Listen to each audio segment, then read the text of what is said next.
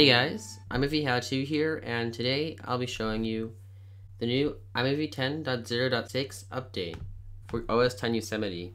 First, like the entire interface is updated for the new operating system, so it looks even more flat, including the icon here on the dock. The next change is that there's no more adjust panel, there's now just a row of icons that are always here, and these icons now match the iOS 7 version and OS 10 Yosemite. Also, where the adjust button used to be, there's now the share button, and it got moved from over here to over there. So the next thing that's new is that there's now a new type of project you can make. It's called an app preview.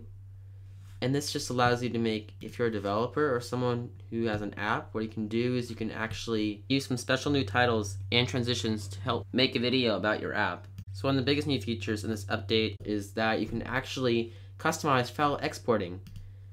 Before, when you like did file export, it would only give you like certain resolution options, but now there's actually a new quality slider here.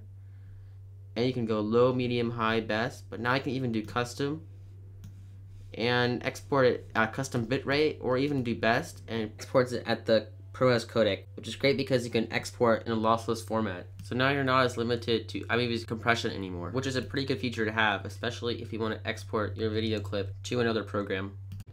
One other thing in this menu that's also new is you can export your project as an audio file only.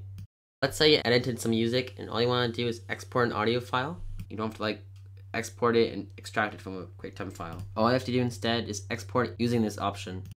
The next thing also is in this share menu. You can now export any frame of your video as an image. So you can do share image and you can just save an image frame like this.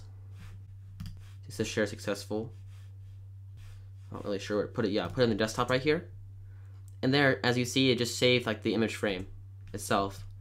So you don't export the movie in like screenshot. You don't have to do that anymore. You can just do that and directly export a frame. So that's pretty nice. So that's basically the update.